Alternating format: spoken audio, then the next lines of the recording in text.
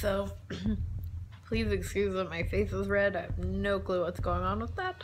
Um, but I'm so excited for today's video because I'm going to be watching the 1931 Dracula.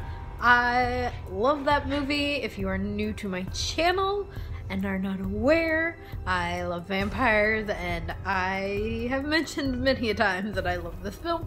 So I'm super excited to get to just watch it and then come back and tell you how much more I still probably love it. So see you in a minute.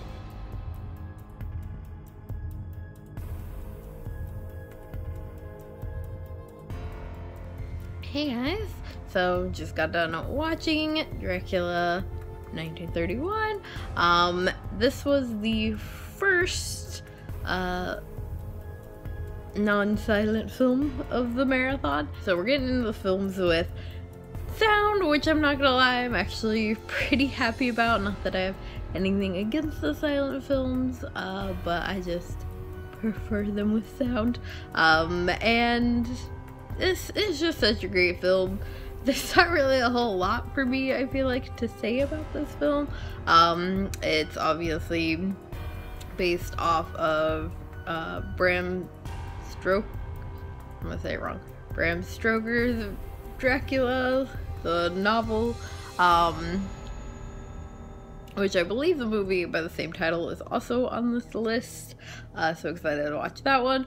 This is definitely one of my like top ones that I was excited to watch for sure.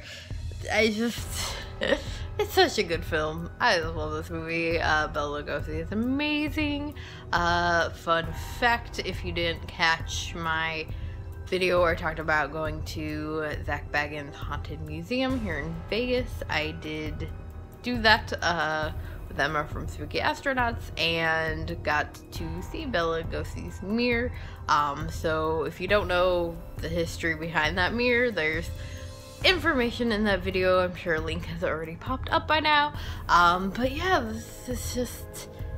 If you have not seen this one for whatever reason, highly, highly suggested. It highly, highly suggested. I did have to rent it um, on Amazon Prime, but it was like $3.99 to rent. Uh, you could also buy it on there as well. Uh, it's definitely one of the shorter films on this list. I feel like some of these, like, first few ones were actually pretty long. Um, I kind of like the fact that this one is a little on the shorter side, but I'd probably love it even if it was a long film. Uh, it's just fucking fantastic. Um, and pretty dark actually, uh, which of course I look for in my horror films. So let me know if you have seen this one, what your thoughts about it are in the comments below. Uh, and let me know what your favorite Universal monster movie is. This one's definitely mine. And I'll see you guys tomorrow with another video. Bye.